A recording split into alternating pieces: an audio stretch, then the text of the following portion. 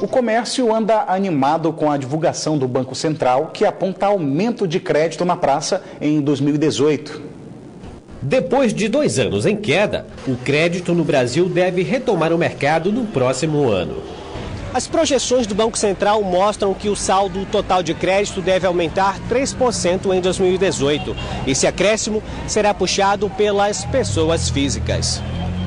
A redução do endividamento familiar é uma trégua para a inadimplência, o que contribui para os bancos voltarem a emprestar dinheiro.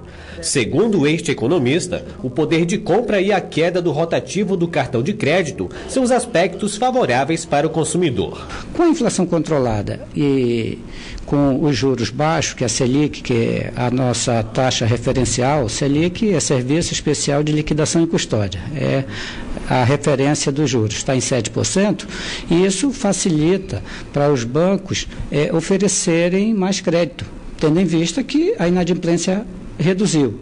As vendas de eletroeletrônicos não param nas lojas. Para esta autônoma, a facilidade do crediário ajuda na hora da compra.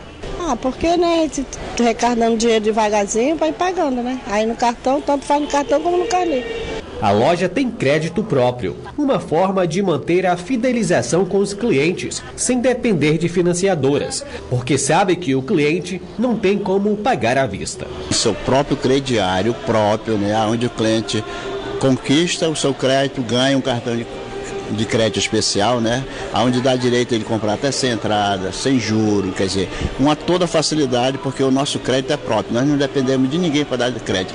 O setor de materiais de construção também é crescente. Segundo o proprietário da empresa, dezembro foi um mês bom para ele, porque a loja utiliza linhas de créditos para as compras, tanto para pessoas físicas como jurídicas.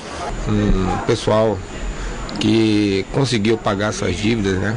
Aquele pessoal que estava com algum problema. E nós notamos que eles tiveram a preocupação de pagar. E com isso, é, nós abrimos novamente o crédito para que eles possam fazer as compras, né?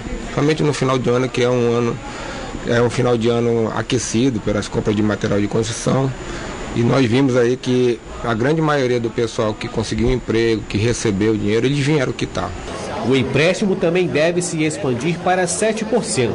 Além disso, os juros e a inflação em patamares mais baixos devem permitir que o crédito cresça entre 4,5% e 8%, também para pessoas físicas e jurídicas. De qualquer forma, a expectativa é positiva. E com isso é a expansão do crédito, não só o crédito direto ao consumidor, mas também através da compra de, de bens duráveis e semiduráveis.